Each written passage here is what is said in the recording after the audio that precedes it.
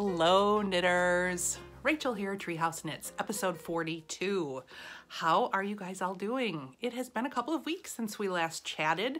Have you been working on some fun fibery things, or are you like the majority of knitters and kind of feeling a little bit not so much as into knitting as you are in the winter? Whenever spring comes, I tend to start to not be really interested in picking up my knitting and uh, at first I would get frustrated about it, but it always comes back, that urge to knit.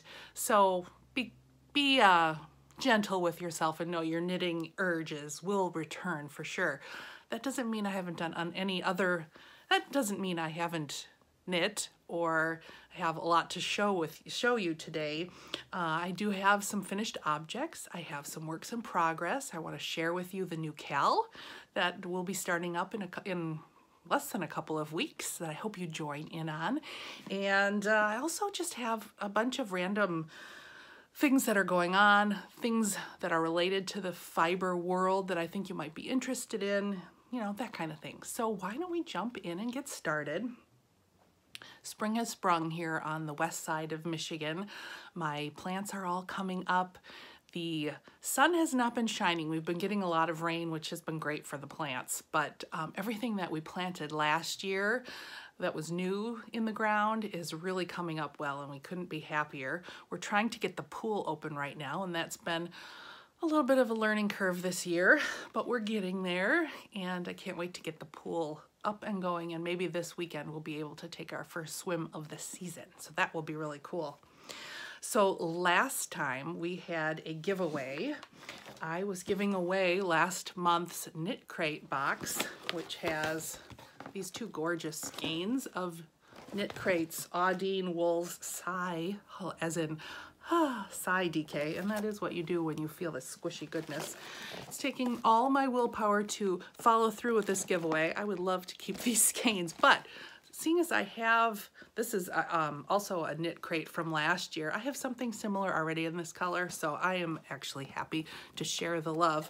I did a random picker on YouTube. It takes all the comments and does a random um, selection on them. We had 56 comments, and I'll show you who won here.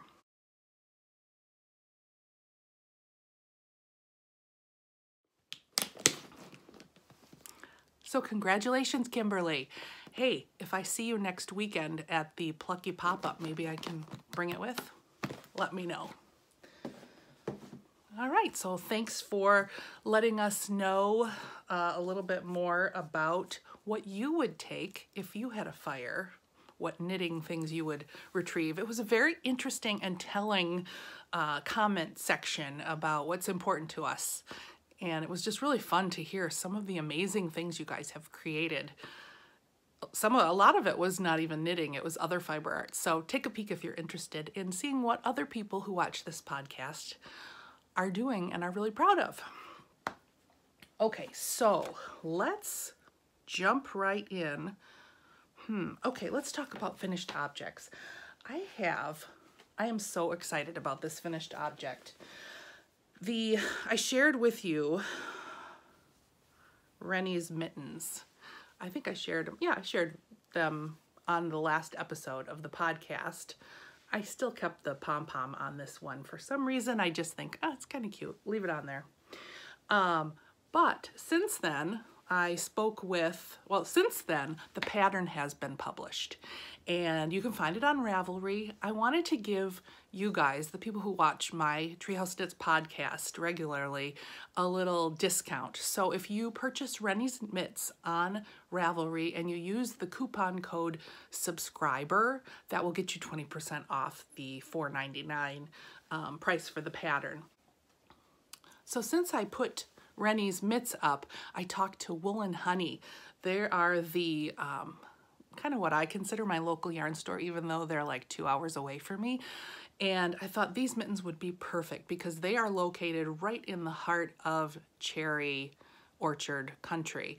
And in fact, these mittens I actually created, um, I was inspired by a cherry orchard that my family and I would pick cherries from occasionally and buy from their roadside stand and eat on the boat on the summers floating on the local on Elk Lake and so I contacted them and they wanted me to knit up a pair using stone wool cormo. If you follow me on Instagram, you saw me over the weekend knitting these very quickly. You know what? They're worsted weight, so they really do knit up pretty quickly. And here is the finished, that's actually a piece of hay from the mittens, from the yarn. This Cormo is incredible and I love how these knit up. The cluster stitches, that's what these are in here, that kind of resemble a bowl of, of cherries. The coloring of the yarn is really that black cherry color. I love the green and that gray background the, the red and the, the gray really pop, or that natural color. These turned out so well. And these are gonna be headed up to Wool and Honey. I'm gonna send them off today. I wanted to share with uh, share these with you today on the podcast, but here they are. I did them in a weekend. I tell you, it they go really fast because they're worsted weight. I think this would be a great pattern for any of you who may be perhaps have never done color work mittens before because you just do a little bit of color work, you learn the Latvian braid. I think my instructions are really clear on the Latvian braid. And then this cluster stitch. My testers had never done the cluster stitch. It's really fun, a lot easier than it looks. Um, and then just finishing up with a tiny bit of really easy color work here. This would be a great pattern for someone who really wanted to try some color work mittens. And in that vein, um, we are going to be, well, myself and Denise are hosting again this summer, the Summer Mitten KAL. We did it last year. We had a lot of you participate and we're gonna do it again this year. So if you knit up a pair of Rennie's mitts in the Summer knit, uh, mitten, knit along, the Summer Mitten Cal, um, I will enter you in twice on my Ravelry um, page where the um, where the finished objects thread is. If you're considering knitting up, joining in on that summer mitten KAL this year, but you've never done color work, this might be a really good option for you. Again, it's worsted weight. So Rennie's mitts. I think what I'm going to plan on doing for the summer mitten KAL is actually do a couple of really quick tutorials on the, I'll show the Latvian braid, I'll show um, how to do the cluster stitch, and I might even show how to work this um, section in here to do the thumb. I'm not sure if that's even necessary, but I'll probably do a couple of quick tutorials on YouTube for you as well. I hope you really like Rennie's mitts. And again, use that coupon code, you guys. 20% off, use the code subscriber to get that.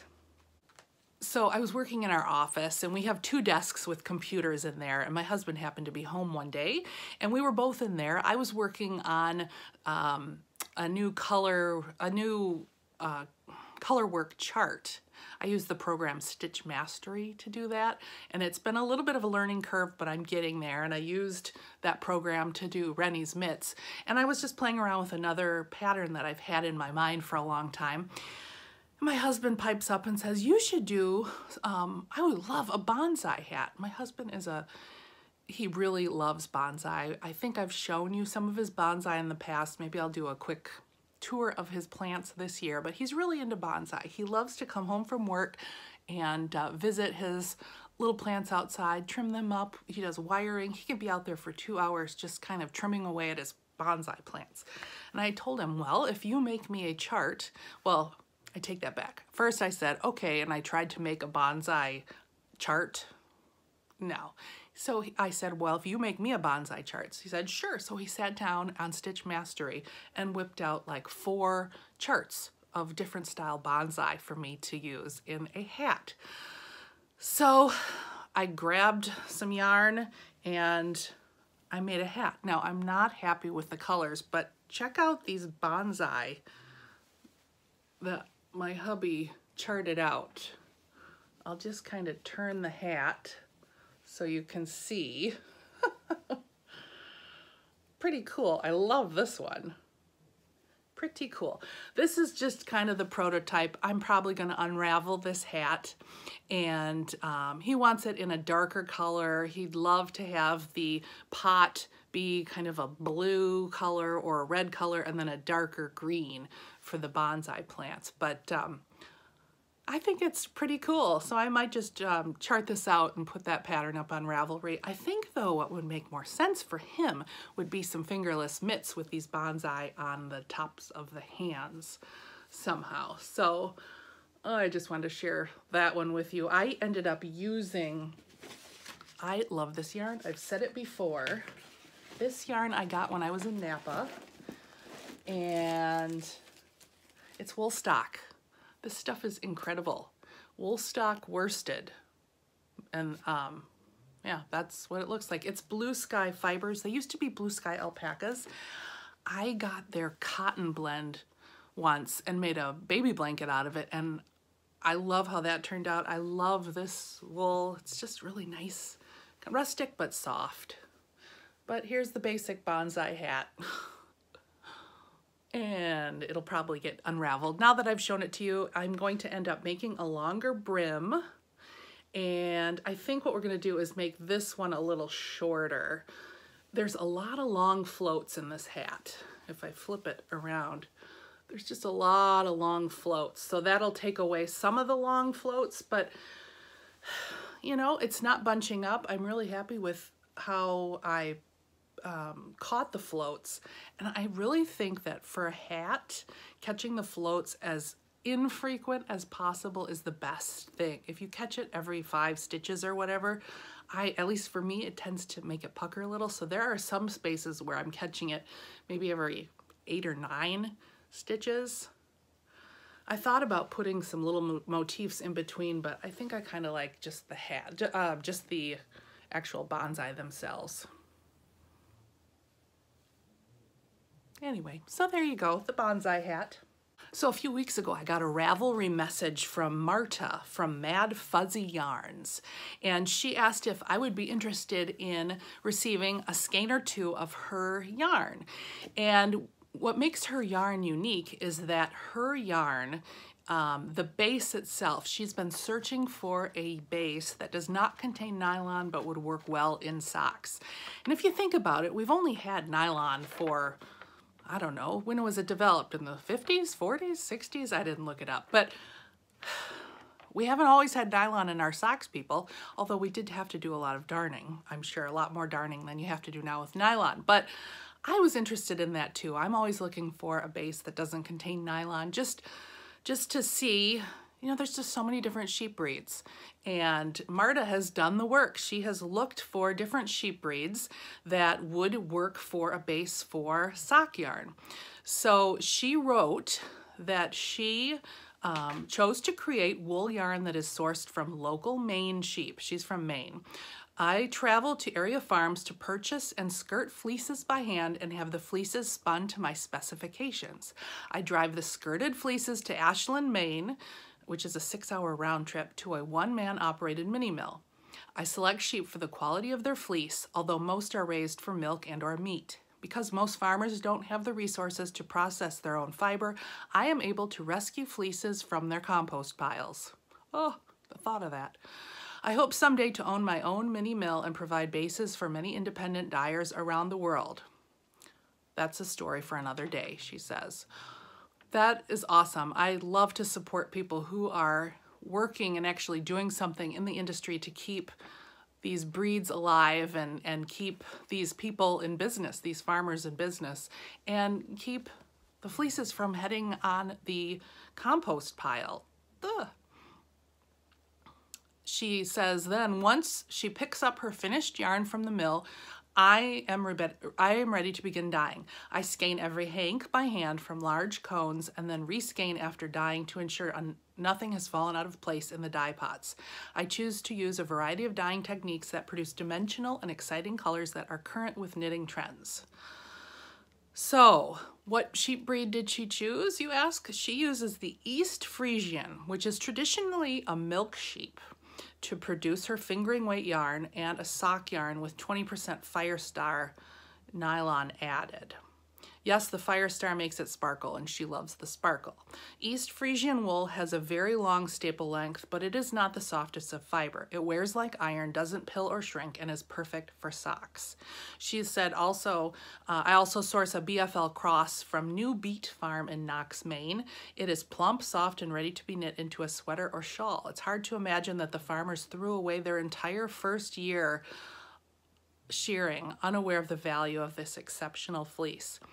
My experience with farms like New Beat has me scouting for amazing fiber not being utilized. I am constantly looking for new sheep breeds and fiber sources to turn into incredible yarns that are 100% Maine sourced. How cool! I love this. This is her card. It's Mad Fuzzy, raised, milled, and hand-dyed in Maine. Her name is Marta, and she sent me I've already spun this up. This is a skein of the Frisian sheep. And of course, I had to go to my Fleece and Fiber source book and take a look at what the ladies had to say about East Frisian.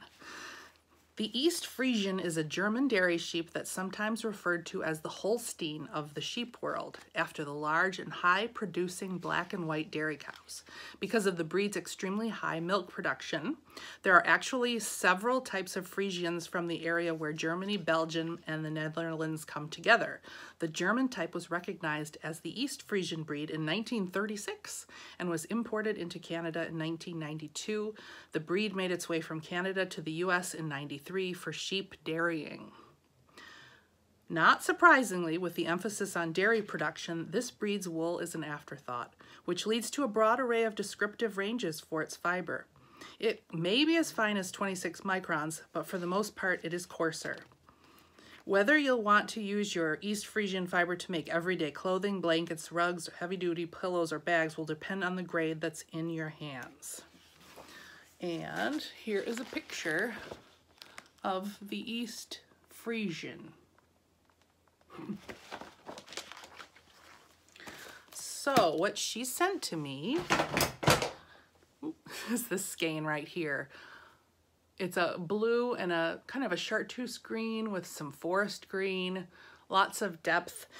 And I, when I got it, I admit it's really, um, it's coarse, but it, you know, when I, it's not itchy. When I put it up to my neck, there's maybe just a little bit of itch. I, I don't think I would probably make a scarf out of this, but for socks, why not? So I ended up putting it, putting half a skein through my knitting machine and getting this sock out of it. Look at the cool stripe.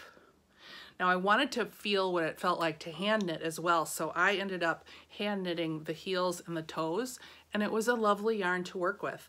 This is a, I'd say it's a light fingering weight yarn, and when I blocked it, when I put it in the water eh, with a little bit of soak in it, it got a lot softer. My husband has put this on and he says it feels great. He doesn't think it feels itchy. He says it feels like a hardy, hard-wearing sock.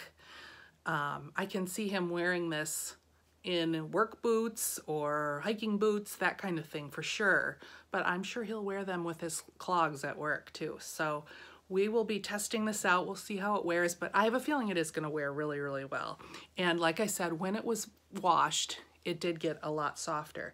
So I would give this definitely a thumbs up for someone who just wants to knit hard wearing socks, I'd say it's very comparable to Regia, maybe just a little bit, um, a little bit coarser than a Regia, but um, certainly not a fleece that we should throw away. If we can save this fleece and use it for sock yarn, I, I say let's go for it.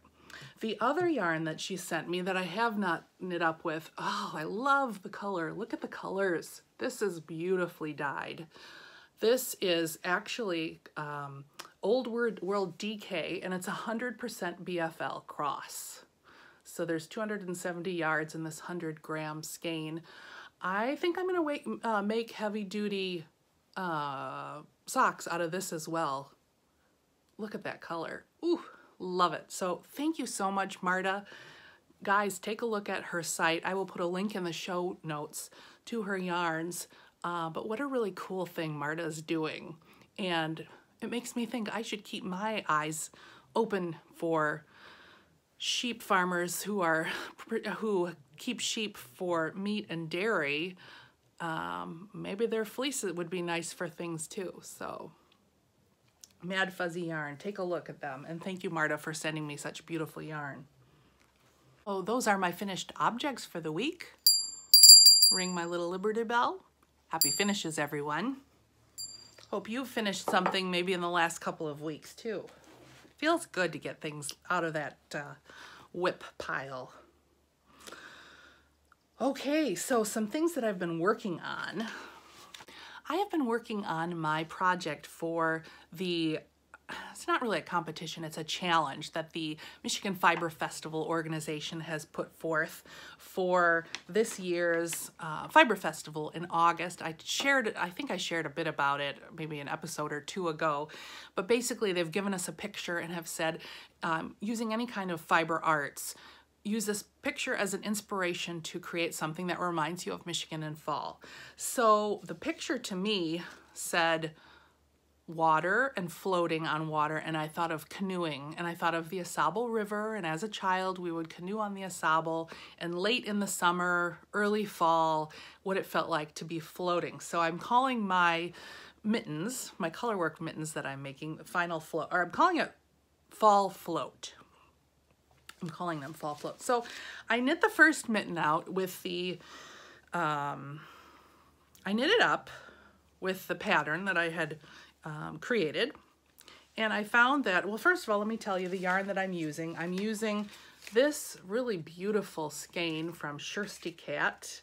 It's a, actually it's a BFL sock yarn, 75% BFL, 25% nylon. And I thought it captured the, the um, colors in the picture of the water and uh, of the kayak that was shown in the picture. And then I'm also using along with it this really pretty russet reddish orange color that I bought at YarnCon a few years ago, ago called, it's from a company, I think they're called Highway 50, Knitting Coast to Coast, Yarn Days.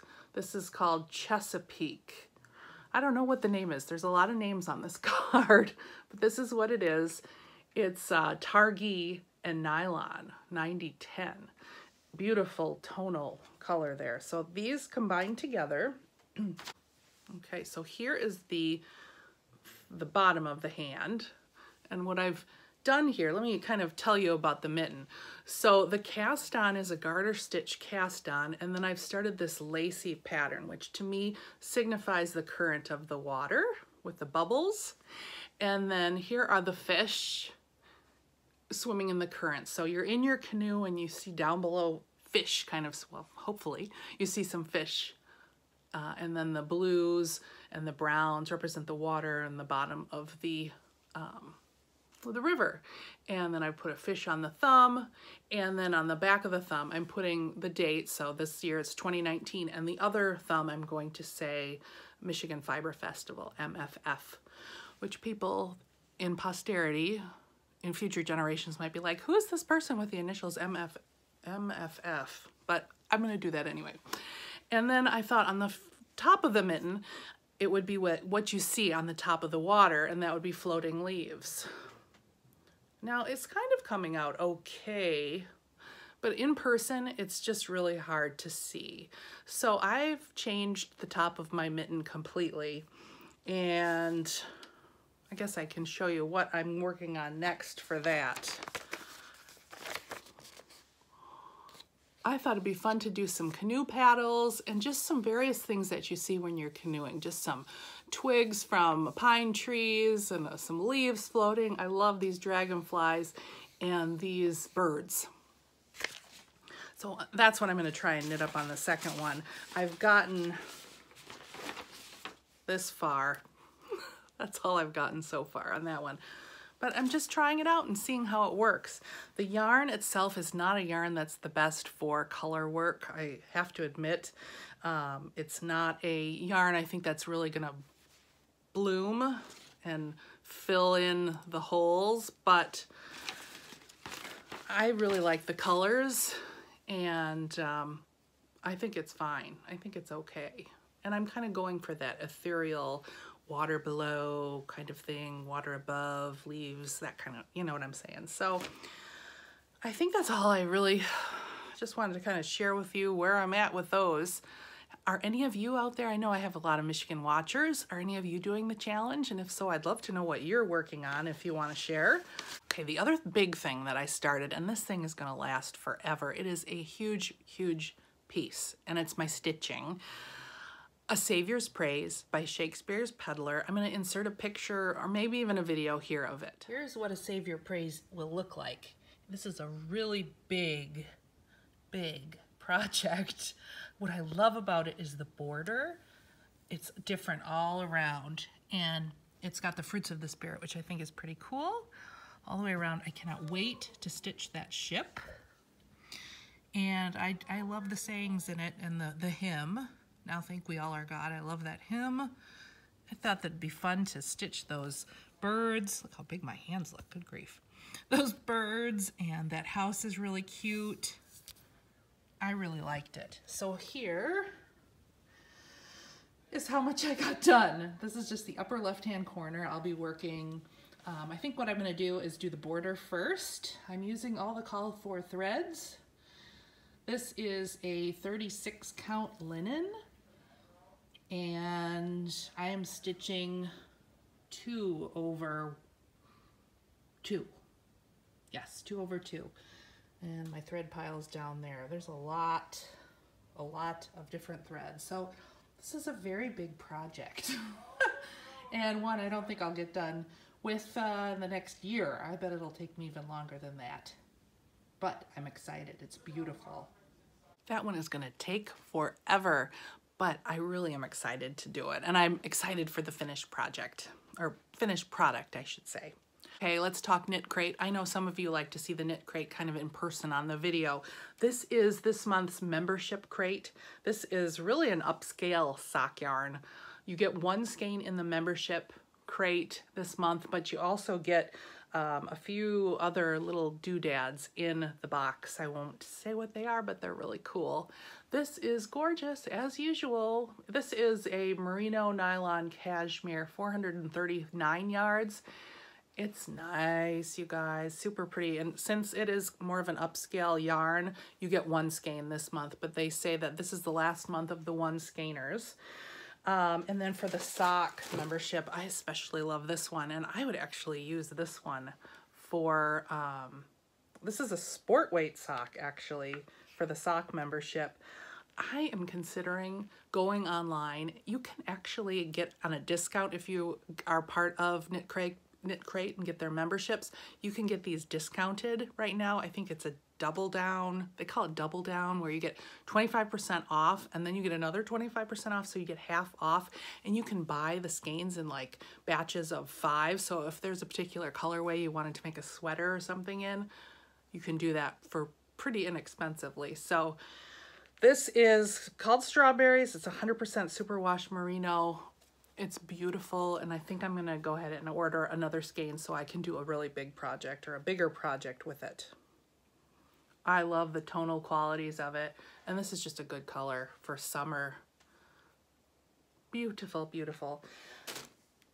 Next month, in June, they do have the video up. So if you're interested in getting a sneak peek, their theme is calico and their artisan crates. Actually, they have a pop-up shop now. So their artisan pop-up shop, they have 33 colorways of the particular yarn. So cool knit crate. I love the stuff that you do and I love, love, love getting these knit crates. Thank you so much for sending them to me and um, do use my code if you have not ever gotten a knit crate before, 20% off Treehouse20 I think think's the code, but it's down below as well.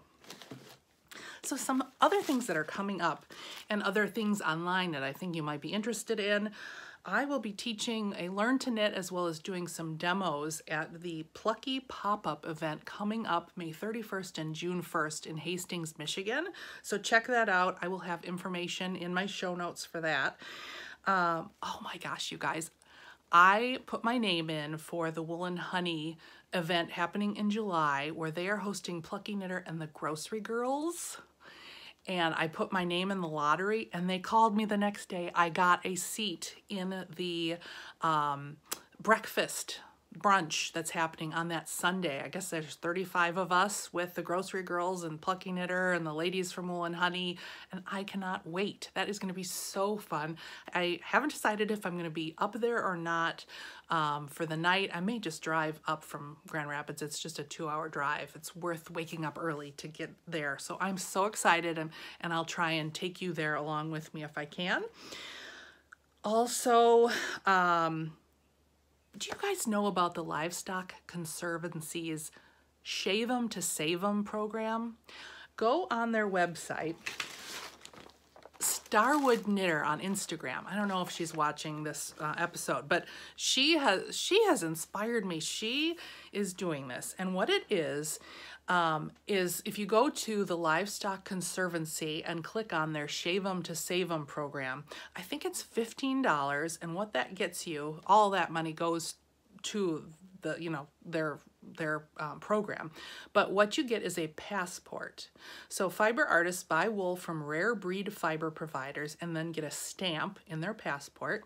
They earn items for completing projects. Then they share pictures of their projects on Facebook and Ravelry. The more breeds they use, the more stamps they collect, and the more items they earn, the more wool the providers sell. So it's a really cool program to get the word out on these rare breeds that um, that are um, trying to they're trying to protect and keep their endangered breeds. The Livestock Conservancy has long said that the way to save endangered breeds of livestock is to give them a job. In the case of wool sheep, we need to start using their wool again. Because of marketing challenges, some shepherds discard or compost the wool after their annual shearing rather than cleaning it and selling it. So talked about that with the Friesian sheep and Martha or Marta and her um, Mad Fuzzy yarn. In addition to encouraging fiber artists to try using rare wools, the program also educates shepherds about how to prepare their wool for sale and how to reach customers and fiber artists, thereby making it more profitable to raise heritage breeds. So check them out. I will have a link below and um, consider being part of that and getting the passport. Check out to their Facebook site. You can see what people are already making like Starwood Knitter on Instagram. Okay, so I think that is it for this week. Consider joining in on the Summer Mitten KAL with Denise and I again. It's our second annual. And uh, show notes can be found down below. There'll be a link to my website for anything I've talked about today. I hope you all have a great Memorial Day weekend here in the United States or just a regular old beginning of summer for us. I guess it'd be the beginning of winter for you in the Southern Hemisphere. I appreciate all of you who come and watch my episodes every week. I one of the main things that drives me to continue to do this because it can be a little tedious and there are times when it's like oh, I'd rather be knitting than putting together a podcast but what really motivates me are your comments below. Thank you so much for engaging with me, asking questions, uh, sharing what you're working on. I'm gonna throw out a question for you. So summer is coming. Are there other fiber arts that you like to do in the summer? If so, what are they or what do you plan on working on this summer? Share with me your thoughts in the comments below. I hope you have a great, great week. I hope that you have time to do the things that bring you the most joy, and we will see you on the next episode of Treehouse Knits. Bye.